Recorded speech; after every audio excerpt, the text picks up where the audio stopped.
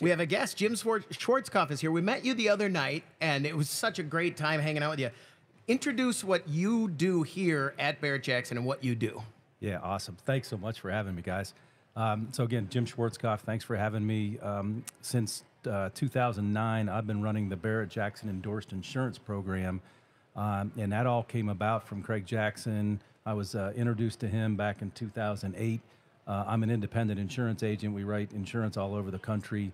Uh, we primarily focus on folks with high value homes, collections of all kinds. Um, got into car collections just because uh, uh, wealthy people collect cars and things like that. And so we were able to do a great job for Craig. And Craig says, "Gosh, why don't we introduce this to our, uh, to the Barrett Jackson family?" And so we have. And since then, it's been a uh, uh, it's been a, a, great ride. I've been to every Barrett Jackson since 2009. Uh, I've got my son that works with me in, in the the program as well. Um, we got friends here with Berkley One, um, which is awesome as far as what they do for an insurance program. Uh, but it's just been um, it's it's wonderful. I'm I'm not a car guy myself. Uh, but I love car people, and that's what makes this job really, really fun. Why would we talk about this quite a bit, but it seems to take on a different note here. When someone has a, a collector car, a car that's in, you know, that they're they're polishing more than they're driving, why not just insure it with your car insurance? I have car insurance. I could insure it through them. They said they would. I mean, why wouldn't? Why do I do? Why do I come to a, someone like you yeah, the main difference between uh, regular standard car insurance and collector car insurance is how the loss is settled after the loss. And the main thing, there's there's different terminology, but the, the main, so an actual cash value is what you have for your daily driver. Every time you put miles on it, it, it depreciates. Uh, they're able to put used or aftermarket um, parts back on the car after a loss because their responsibility is to put it back to where it was at the time of the loss. Um, conversely, with collector car insurance, it's it's done on agreed value and that means you and the insurance company agreed. You and you and the insurance, yeah, not agreed, uh, but you, you and the I didn't catch that. Yeah, you you and the uh, insurance company uh, up front agree on what the value is, and then at the time, you know, God forbid, but at the time of a loss, uh, then they stroke a check for what what that car was insured for. Um, there's also different coverages in there for you know if it's a partial loss, um, you know, using um, the original manufacturer parts that were on the vehicle when available um, going to the shop of your choice. You know, listening to Craig a minute ago and talking about the Roadster shop or whoever it might be. You know, if somebody built that car, you don't want to take it to your local Chevy dealer to get it repaired. You want to take it back to whoever built that car right. and get it back to where it was. And uh, you know, as we watch these natural disasters that are going on, and, and my heart goes out to those folks down in Florida and North Carolina. Uh, but there's going to be a lot. You know, flood is a covered cause of loss for a car. And you know, Ian, a couple years ago, there's you know a lot of cars are uh, were totaled out, and that's where this agreed values is a big, big deal. How much of your job is therapeutic? When someone calls you with a loss, there's there's a part of that that is talking them through what's happening. Uh, I can tell you a story on, on, I won't tell specifics about it, but a, a very wealthy man lost a very high value car. Um, and when I saw him, he was in tears. He wanted the, you know, the, the, the insurance company paid him for it, um, big check, uh, but he wanted that car. Mm-hmm. And it wasn't a matter of, hey, you know, I, I, I can go buy another one because he couldn't. It was a one on one, a, a you know, 30s car. Uh, but yeah, when you look at these, you know, you got some dealers that say, hey, it's, you know, that's my job. I'm just trying to make a few bucks off a car. But when you get true collectors, uh, like Craig was talking about, where it means something to you, you know, it's the car your parents drove or it's the car you always wanted that you couldn't afford when you were a kid. Uh, 79 Corvette was mine. A buddy uh, was able to take his girl to the prom when I was a kid, and I was like, God, how cool is that? Um, so yeah, that's it's it's really and it's a passion. It's just like any other, whether you know from the insurance perspective, whether you're collecting art, whether you're collecting jewelry, um, wine, whatever it might be, it's your passion. And when you lose something, it, it takes a piece of you. What's the when I say the word weirdest? What's the weirdest loss? What jumps into your head as just weird or? What? How, please explain how this transpired.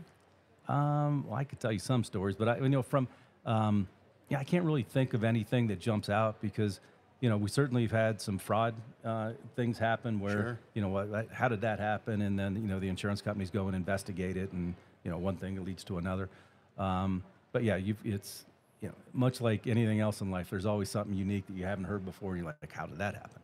We talked and we talked to Berkley one a lot. What if I buy a car here today, even if it's not super high value, and I'm going to bring it home and I'm a, I'm going to get into that. What what's your your quick advice on what I should do? You know, ro- things that I wouldn't think of, rodents or just uh, you know, how do I how do I start this process of having a collector car? Yeah, it just like anything, it's communication. Talk to uh, talk to your insurance agent. Say, hey, I bought this car. I paid X amount for it. Um, and then walk through and, and have them educate you on how it should be insured. Um, the biggest mistake we see is, is where somebody will go to a direct, uh, they'll call an 800 number or they'll call a program and go direct to them, which is, you know, could be fine. But then they don't talk and they don't coordinate with their, their current uh, insurance agent that's helping with their house and their daily drivers, making sure the liability limits match up, making insured, uninsured motors uh, match up. It's just, that communication to where you have a true plan on, you know, making sure that that's insured properly, so that when you know something bad does happen, you're not surprised. And and that's the thing that you want that we try to alleviate when we talk to our clients or prospective clients is, hey, let's take out the surprise. Let's let's ask questions you're not thinking about and answer them so that when something because you know I don't I don't want to have that phone call where somebody calls me up and says, "Geez, Jim, this isn't covered. Why didn't we talk about that?" Mm-hmm. Because I've had those phone calls. And if if you come here to to this event, it is kind of interesting. I've noticed, and it shouldn't surprise me. I mean, but you can walk in here never having done any of this or known any of it, and find people who will help you here every step of the way, shipping it, insuring it, what you want to do to. You certainly can buy things to add to it here. Right, and that that's truly is. And listening to Craig talk about it, that's what he wanted to build. Um, and so when you do, you know, back uh, just over our shoulder here uh, we have a table back there where we can talk to people about insurance and we can bind insurance here if need be. Uh, next to us are a Woodside Credit that can actually finance these vehicles, which is really a unique way to buy them. Uh, gets people into the hobby. Yeah, we were kind of interested yesterday when we saw the monthly payments in yeah. the bottom corner on some of those cars. Yeah, it seemed odd, but cool. yeah, it is, and you know it's a good use of money and, and things like that. Interest rates are, are pretty good still with those guys. Uh, and then right next to them is the shipping company, Reliable, who's the best in the business of, of transporting vehicles. Uh, and then there's a Canadian shipper right out right over here as well that can take it north of the border. So it really is. Um, and then you you go through the vendor space and you can buy anything from a pillow to a chairlift. I saw they're selling uh, uh, fully enclosed car washes. Which is, uh, oh, know, I did. Put, we walked yeah. by that quick. I wanted to go check yeah. that out and see what I mean, it was all how about. awesome's that? And then you can, you know, go to a, a, big fishing trip up in Alaska, whatever. That's what, you know, as far as the lifestyle, that's the, you know, there's a lot to see here other than just the uh, the cars, which are beautiful. So you said you're not a car guy. Have you have you bought a collector since you started doing this? I have not. Okay. I uh, and I, I, you know, I've, I've I, I'm the kind of guy that one, I, I don't have the medical or the uh, medical, the uh, mechanical uh, uh, know-how. That you need when both it, sometimes. Yeah, when it goes out and breaks down, I'm going to be frustrated. One can cause the other. Me, I'll sure. take care of it for you. And my wife's not going to want to smell the way those cars smell. Oh. And then you know, but then these restos, I'd love to have one of those, but th- I cannot believe what those things are selling yeah. for. They're beautiful. Uh, but that's what I would want. I would want something that's got to have all the creature comforts and everything about it to, yeah, uh, that, yeah. to really make it enjoyable to drive. And uh, but boy, that those uh, price tags on some of these cars are going to be selling tomorrow is incredible. What was your first car? Your very first car? My very first car was my grandmother's uh, Cutlass Supreme Brougham that had a 442 engine in it. Um, beautiful car, beautiful green with a black uh, Landau top. Uh, claim to fame on that car was I left the, the key used to be on the ignition, or on the, the ignition used to be on the dash, and my dad always taught me to always leave the keys in the car. And I left the keys in the car, and all of a sudden I see this car go driving away. I said, "Gosh, it looks just like mine," and it was mine. and uh, come to find out, uh, a couple days later, after they tried to arrest my dad because uh, somebody was robbing gas stations with it, and it oh was it, it, was found less than 10 miles from our house parked on a train track hit by a train oh my and and they had put a thousand miles on it in in like 36 hours and it was found still 10 in, in central ohio found 10 miles from our house I was hoping it would end with. It turns out your dad was a oh that way was a gas had, station we, burglar. And well, that's, that's, this guy was robbing gas. He was he was gassing, you know, robbing, sure. taking gas and going. And sure enough, they came like on a Sunday night. They came looking for my dad. This big sheriff came to the door, And, uh, and he's, you know, asking, is this Sam- Sam Schwarzkopf here? And he's like, yeah. And he's thinking I did something. That totally. And, uh, and so he, and he, it was funny. I mean, funny to me. It wasn't funny to him. And now, nowadays, that car would be a Berkley One Classic. Oh, it would be. And we, it's Oh, green. yeah. It's green. I'd dress the color. I'm gonna go green and black. Yeah. Russ. White. It's white. he said green. Yeah. I know. so and, how I, many? and, I, and I look at, say, there's a couple cutlasses out there now, and I look at the, I think they're more 69, 70s. Those are just, I, I love those. Is that gonna be the one you get if you do? I, you know, I would I, actually I love Impalas for whatever reason. I, I love how they change the body style like almost every year, but they they always had that straight line from front to back. That uh, I'm a symmetric guy, so that's I always, always like that. So like an 04, 5, 6 Impala. Uh, not about that. well, maybe. I remember mom uh, used to drive this. My my dad had it from the company, but it was a '79 Olds '88 four door.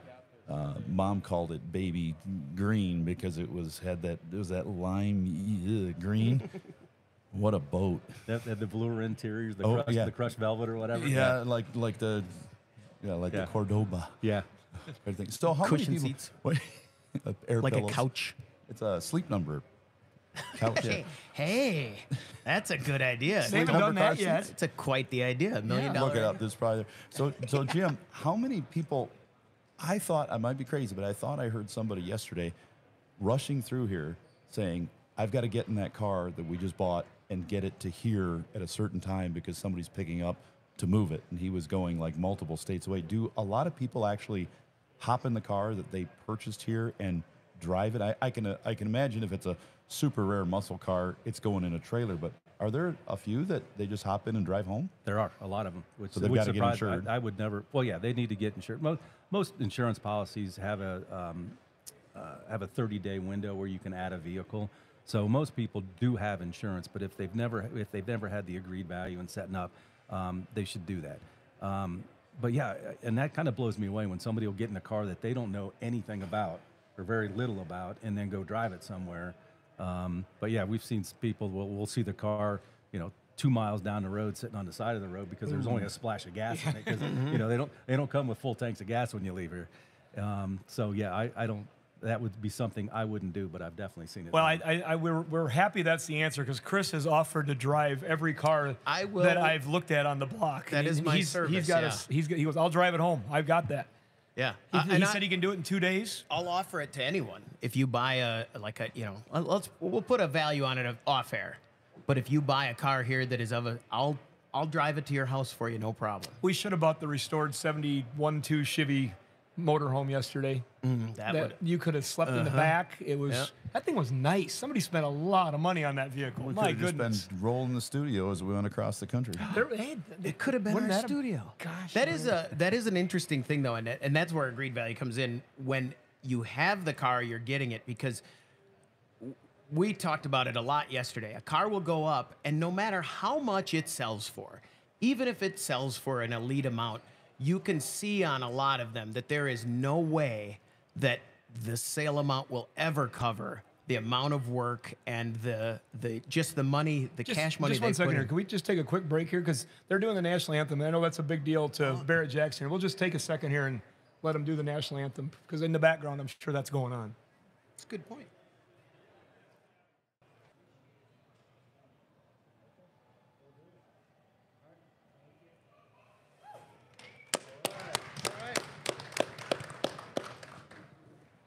Let the bidding begin. That was, uh, I learned something just now. What's that?